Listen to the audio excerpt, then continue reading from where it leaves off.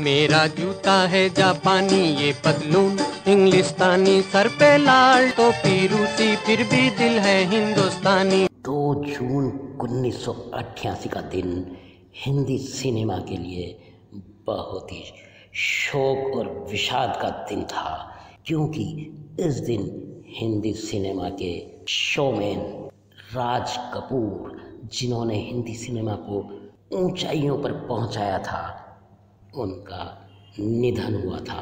आज इस वीडियो में हम राज कपूर को श्रद्धांजलि देते हुए उनसे संबंधित कई सारे अननोन फैक्ट्स बताने जा रहे हैं, जो आपके लिए जानना बहुत ही ज़रूरी है। यदि जानना चाहते हैं राज कपूर के बारे में अननोन फैक्ट तो बने रहिए हमारे साथ। देखते रहिए इस वीडियो को। हमारे चैनल को यदि आपने सब्सक्राइब नहीं किया हो तो इसे सब्सक्राइब करें बेल आइकन को प्रेस करें, और आल पर क्लिक करें ताकि आने वाली वीडियो की नोटिफिकेशन आप तक पहुँच सके।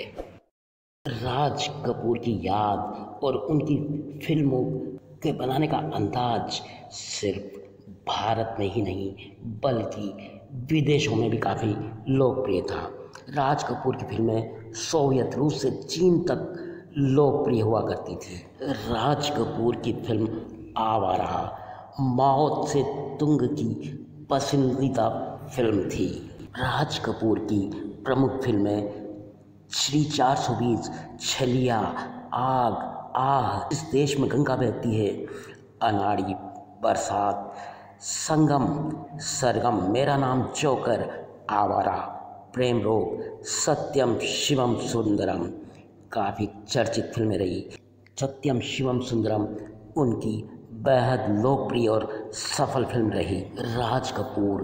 एक निर्माता, निर्देशक और एक्टर है राज कपूर की फ़िल्मों में संगीत, कहानी, विषय वस्तु costume location camera editing lighting सब कुछ इतना सटीक होता था कि दर्शक फ़िल्मों में बंधे रहते थे। और सबसे प्रमुख था उनका डायरेक्शन निर्देशन जो दर्शकों को फ़िल्में देखने पर बाध्य करता था। इसी वजह से उन्हें हिंदी सिनेमा का शोमैन कहा जाता था। उनके जैसा कलाकार, उनके जैसा आर्टिस्ट, उनके जैसा निर्देशक, उनके जैसा एक्टर हिंदी सिनेमा में बॉलीवुड में न कभी हुआ था, न आगे होगा। आवारा हूँ आवारा हूँ। या गर्दिश में हूँ, आसमान का 1948 में उन्होंने आर के स्टूडियो की स्थापना की थी। राज कपूर की फ़िल्म श्री 420 का गीत, मेरा जूता है जापानी, यह पतलून इंग्लिश इंग्लिशतानी सर पे लाल टोपी रूसी, फिर भी दिल है हिंदुस्तानी।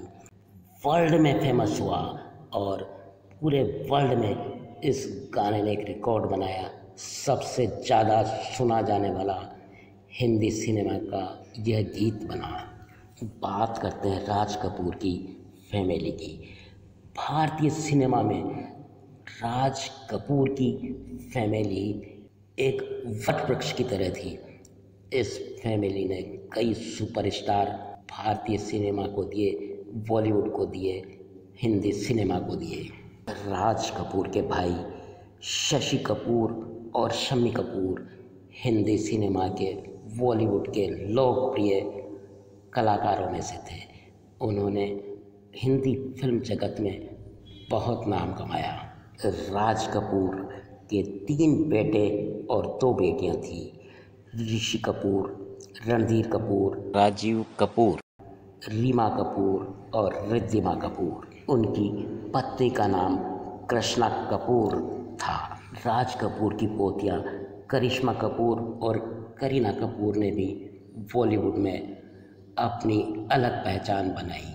कपूर परिवार ने पूरे बॉलीवुड में तहलका मचा दिया और लोगों के दिलों को जीतने में इस परिवार ने कोई कमी नहीं छोड़ी। प्रसिद्ध अभिनेता रणबीर कपूर इनके पोते हैं। भाई शम्मी कपूर और शशि कपूर अब इस दुनिया में नहीं है।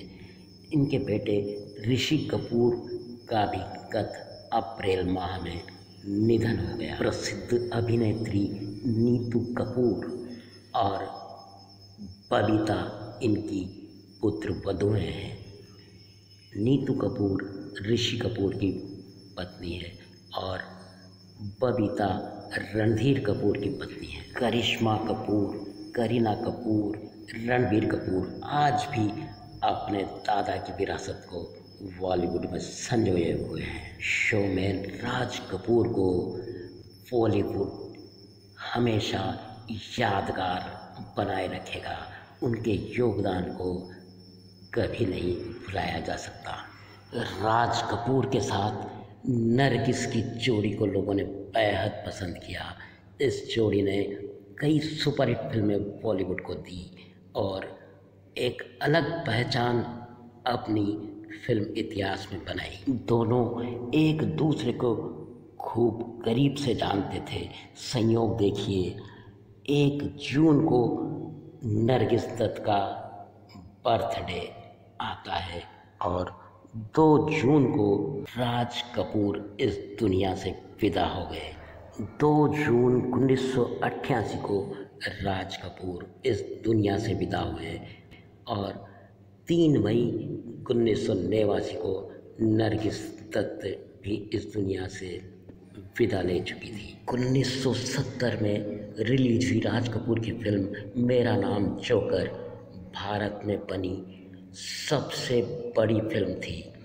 इस फ़िल्म के पिट जाने के बाद राज कपूर कर्जे में डूब गए थे, लेकिन बदलते समय के साथ लोगों ने इसे पसंद किया और बाद में यह फ़िल्म बहुत लोकप्रिय हुई। इंडिया में नहीं, बल्कि पूरे विश्व में इस फ़िल्म ने इतिहास रच दिया। हिंदी सिनेमा में यह बेहतरीन फ़िल्मों में गिनी जाती है। इस फ़िल्म को बनाने में छः साल लगे थे। सवा चार घंटे की यह मूवी गीत, संगीत और डायरेक्शन सब कुछ सुपर हिट यह जानकारी आपको कैसी लगी? हमें कमेंट बॉक्स में ज़रूर बताएँ।